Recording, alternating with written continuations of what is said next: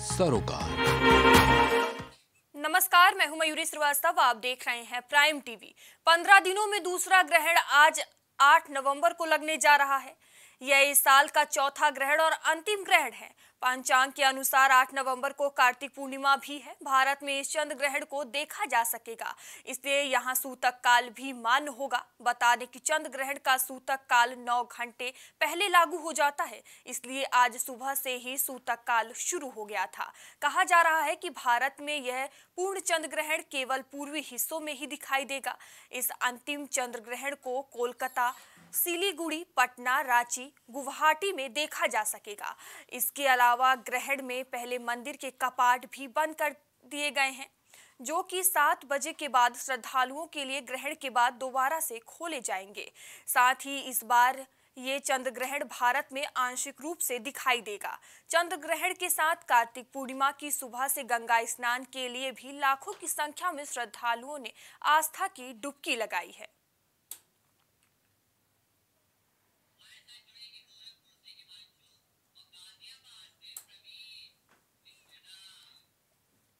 इस पर ज़्यादा जानकारी के लिए हमारे साथ गोरखपुर से हिमांशु जुड़ेंगे और गाजियाबाद से प्रवीण जुड़ेंगे।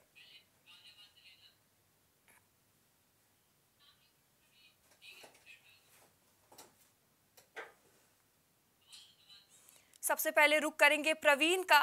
प्रवीण, आज साल का आखिरी चंद्र ग्रहण लगने जा रहा है। वहीं आज लाखों की संख्या में आस्था की डुबकी भी लगाई जाएगी।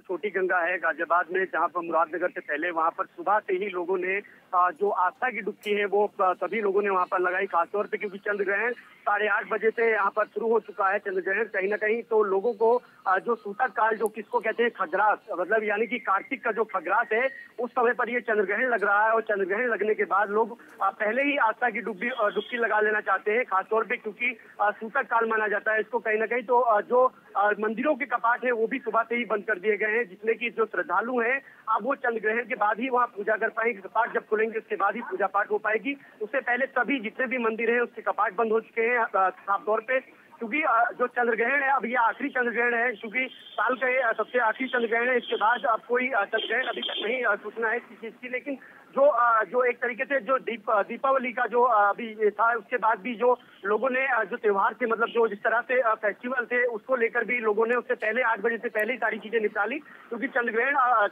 दो बज के दो बज के तीस मिनट पे लगने वाला है गाजियाबाद के अंदर में जी। प्रवीण आज सुबह से ही गंगा स्नान के लिए श्रद्धालुओं की भार, भारी भीड़ हर जगह देखने को मिली। तो गाजियाबाद में कैसा माहौल देखने को मिला इसको लेकर? देखिए, अगर श्रद्धालुओं की बात करें तो सुबह से ही श्रद्धालुओं का तांता लगा हुआ था। हालाँकि चार बजे से पहले से ही लोग वहाँ पर बैठे हुए थे और उसके बाद लोगों ने आस्था की डुबकी लगानी शुरू कर दी। इसके बाद जैसे ही आठ बज जाते हैं, उससे उसके बाद ही धीरे धीरे करके जो घाटों पर भीड़ थी, वो धीरे धीरे वहाँ से खत्म होने लगी, क्योंकि ग्रहण लग गया था। साढ़े आठ बजे का समय बताया गया था ग्रहण का यहाँ पर। तो कहीं ना कहीं जो ग्रहण है, ग्रहण की वजह से जो आस्था की डुबकियाँ हैं, वो नहीं लोग लगा पा रहे, क्योंकि जिस तरह से जो दीपावली थी, उसके वजह से कहीं ना कहीं जो पूर्णिमा कहते हैं इसको वो भी, उसके बाद भी जो लोग उससे पहले ही डुबकी लगा लेना चाह रहे थे कहीं ना कहीं तो जो आस्था की डुबकी है वो काफ़ी भव्य देखने को मिली घाटों पर, क्योंकि काफ़ी भीड़ उमड़ी हुई थी वहाँ गाजियाबाद में, छोटी गंगा पर तो कहीं ना कहीं काफ़ी भव्य देखने को मिली थी। जी प्रवीण, रुक करेंगे गोरखपुर से हिमांशु का। हिमांशु, आज साल का आखिरी चंद्र ग्रहण लग रहा है। गोरखपुर में गोरखनाथ मंदिर में क्या कुछ तैयारियाँ कर ली गई हैं इसको लेकर?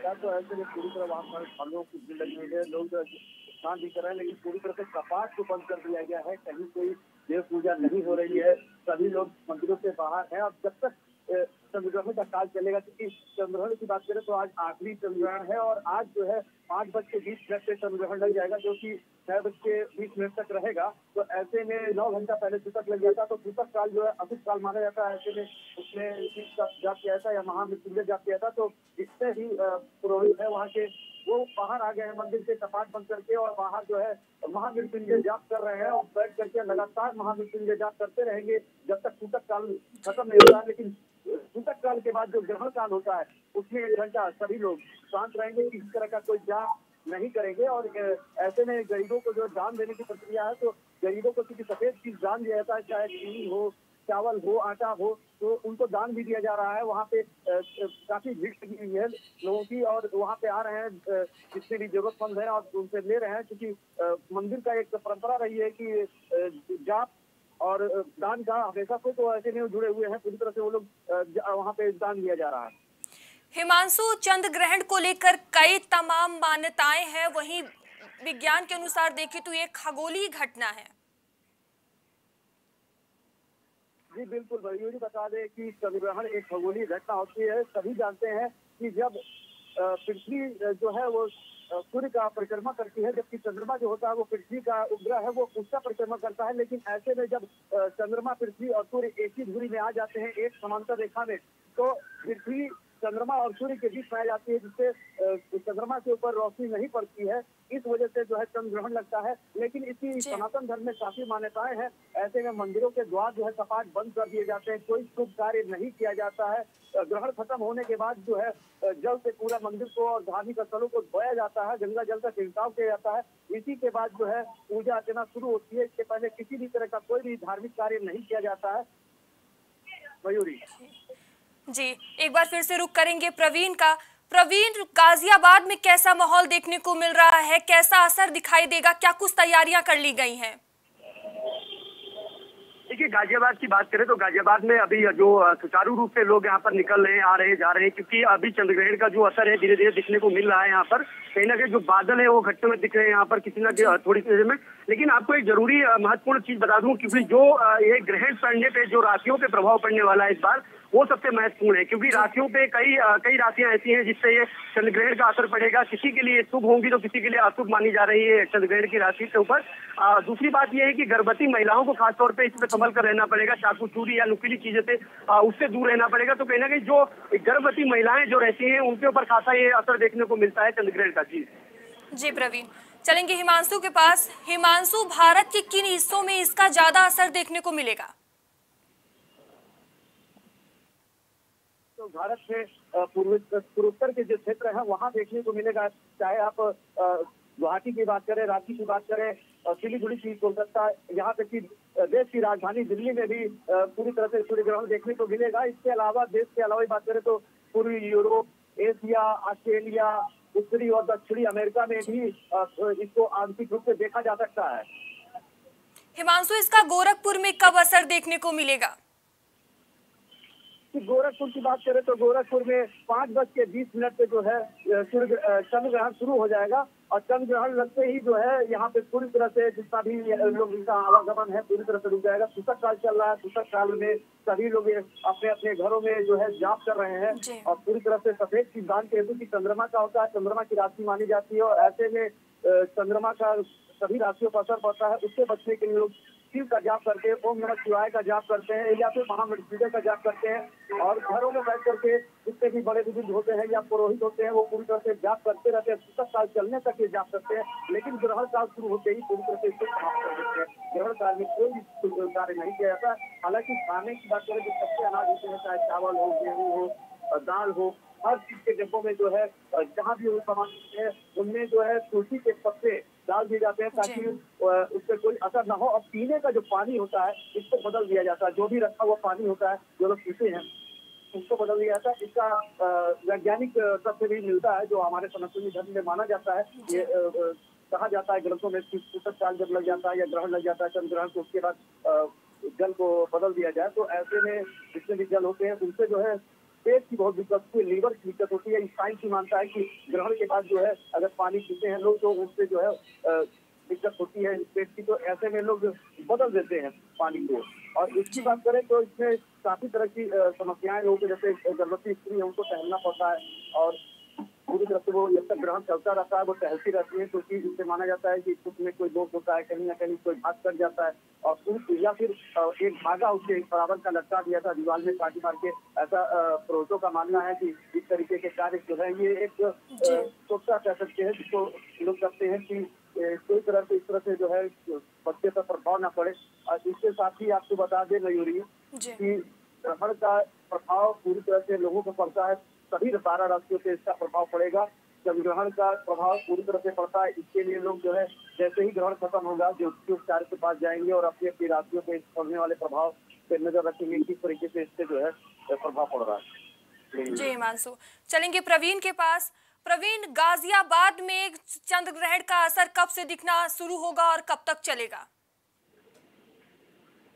देखिए जो अभी समय जो निर्धारित है अभी जो बताया जा रहा है हालाँकि जो पाँच बज के तीस मिनट से यहाँ पर सूर्य चंद्र अस्त हो जाएगा तो कहीं ना कहीं छह बज के अठारह मिनट से यहाँ पर खत्म होने के जो बात कही जा रही है, वो बताई जा रही है।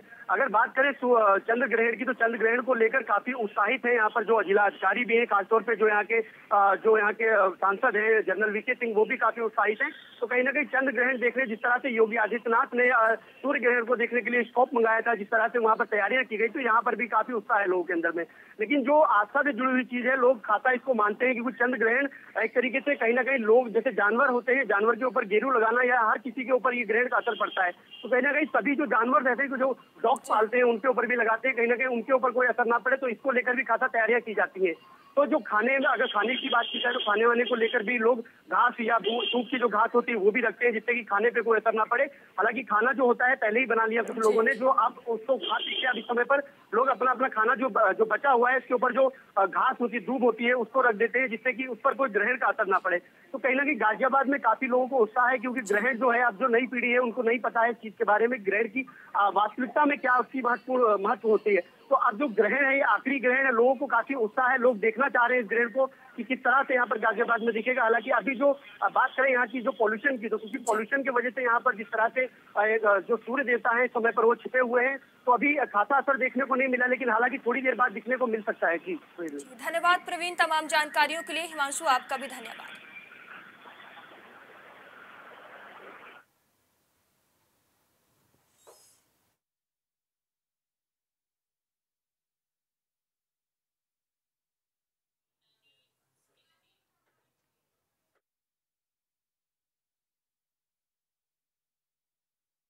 रूप से भारत में चंद्र ग्रहण दिखेगा। साल का आखिरी चंद्र ग्रहण लगेगा। भारत में भी देखा जा सकेगा चंद्र ग्रहण। बता दें इस साल चौथा ग्रहण और अंतिम चंद्र ग्रहण है। पंचांग के अनुसार 8 नवंबर को कार्तिक पूर्णिमा की भारत में इस चंद्र ग्रहण को देखा जा सकेगा। इसलिए यहाँ सूतक काल भी मान्य होगा। बता दें कि चंद्र ग्रहण का सूतक काल नौ घंटे पहले लग, लागू हो जाता है। इसलिए आज सुबह से ही सूतक काल शुरू हो गया था। हमारे साथ कानपुर से हमारे संवाददाता अनिल हमसे जुड़ चुके हैं। अनिल, आज साल का आखिरी चंद्र ग्रहण लगेगा। जी, मैं बता दूँ कि आज साल का अंतिम चाँद ग्रहण चंद्र ग्रहण है। इसके अलावा कार्तिक पूर्णिमा का त्यौहार भी है और कार्तिक पूर्णिमा का त्यौहार इस बार दो बार, दो दिन मनाया जा रहा है, सात नवंबर को, आठ नवंबर को।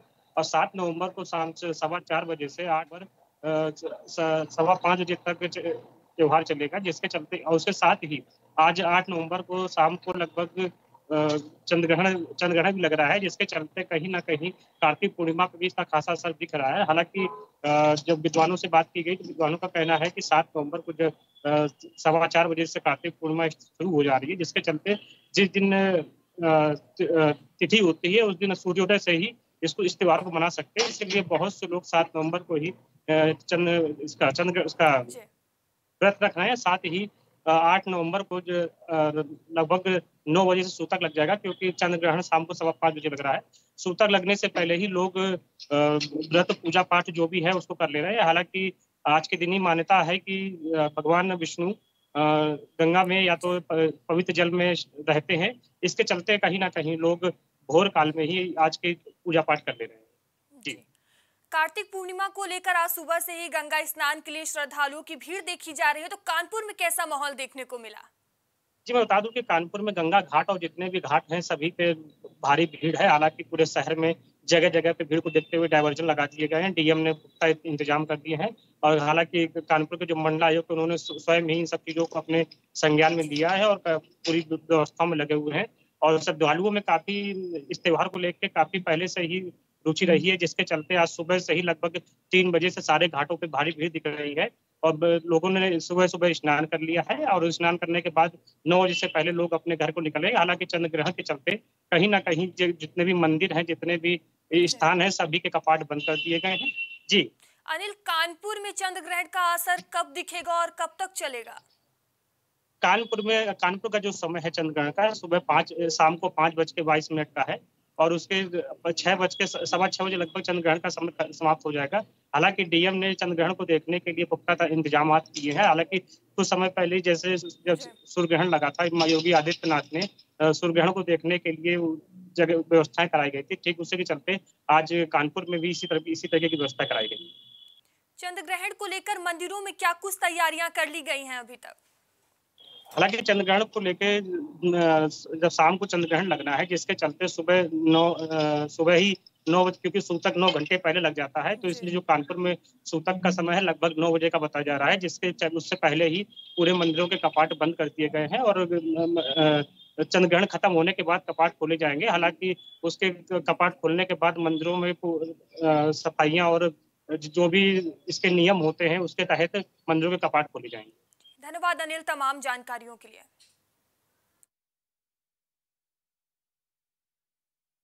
ग्रहण आज लगने जा रहा है। यह इस साल का चौथा ग्रहण और अंतिम ग्रहण है। बता दें, पंचांग के अनुसार 8 नवंबर को कार्तिक पूर्णिमा भी है। भारत में इस चंद्र ग्रहण को देखा जा सकेगा। इसलिए यहाँ सूतक काल भी मान्य होगा। बता दें कि चंद्र ग्रहण का सूतक काल 9 घंटे पहले लागू हो जाता है। इसलिए आज सुबह से ही सूतक काल शुरू हो गया था। कहा जा रहा है कि भारत में यह पूर्ण चंद्र ग्रहण केवल पूर्वी हिस्सों में ही दिखाई देगा। इस अंतिम चंद्र ग्रहण को कोलकाता सिलीगुड़ी, पटना, रांची, गुवाहाटी में देखा जा सकेगा। इस खबर पर हमारे साथ प्रयागराज से पवन जुड़ेंगे। पवन आज साल का आखिरी चंद्र ग्रहण लगेगा। प्रयागराज में इसका असर कब से दिखेगा और कब तक चलेगा? चूँकि आज साल का आखिरी चंद्र ग्रहण लगना है और ऐसे में प्रयागराज में जितने भी मंदिर हैं उनके कपाट जो है वो बंद कर दिए गए हैं। चंद्र ग्रहण खत्म होने के बाद गंगा जल का छिड़काव किया जाएगा और मंदिर में पूरे विधि विधान के साथ पूजा करने के बाद ही कपाट को खोला जाएगा। अगर चंद्रग्रहण दिखने की बात की जाए तो प्रयागराज में चंद्रग्रहण देखने का जो है वो अभी तक ये नहीं हो पाया कि प्रयागराज में नहीं, हालाँकि आंशिक रूप से प्रयागराज में दिखेगा। इसकी पुष्टि अभी तक नहीं हो पाई है कि प्रयागराज में चंद्रग्रहण किस तरीके से दिखेगा। हालाँकि और जगहों पे चंद्रग्रहण को जो है देखा जा सकता है। प्रयागराज में चंद्रग्रहण का जो असर है, वो अभी तक नहीं कहा गया है कि देखा जाएगा। हालाँकि इसकी जो तैयारियाँ हैं, वो की जा चुकी है। और जितने भी मंदिर है, जितने भी धार्मिक अनुष्ठान है वो बंद किए गए हैं और जो सूतक का समय है वो आज सुबह से ही शुरू हो गया है। तो ऐसे में प्रयागराज चूँकि धर्म आस्था का केंद्र माना जाता है संगम नोच पे तमाम तरह के जो श्रद्धालु है वो आए हुए हैं और लोग जो है इंतज़ार कर रहे हैं चूँकि शाम को जब चंद्र ग्रहण खत्म होगा तो लोग पूजा पाठ करने के बाद अपने घरों को वापस जाएँगे। जी मयूरी। पवन संगम नगरी है प्रयागराज। कार्तिक पूर्णिमा की सुबह से ही गंगा के स्नान के लिए श्रद्धालुओं की भीड़ देखी जा रही है। तो प्रयागराज में श्रद्धालुओं में कैसा उत्साह देखने को मिला?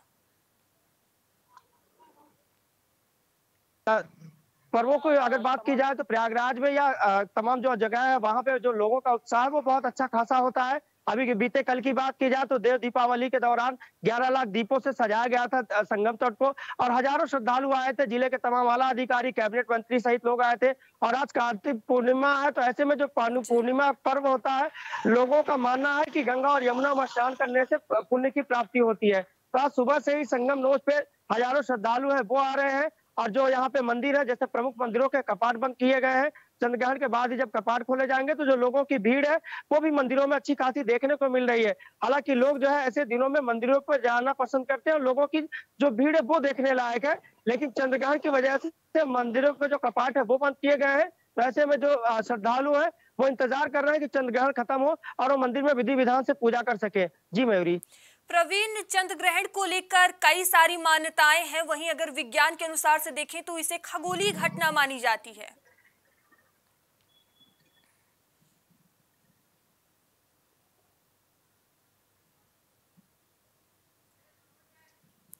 पवन, आपको आवाज़ आ रही है?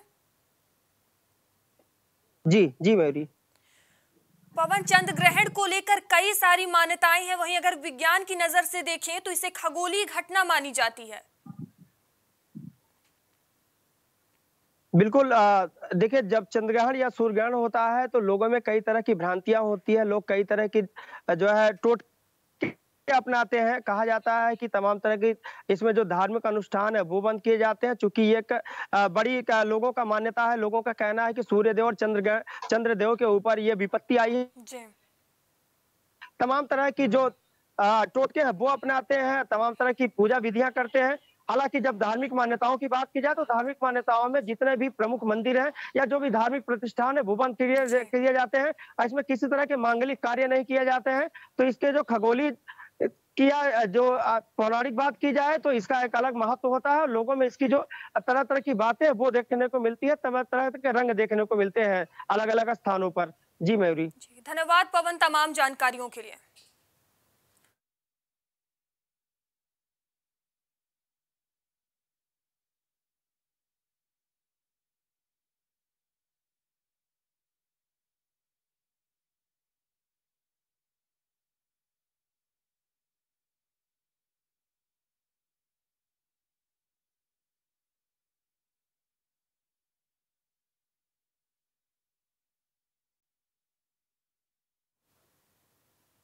खास रिपोर्ट में इतना ही। देश दुनिया की तमाम खबरों के लिए देखते रहिए प्राइम टीवी।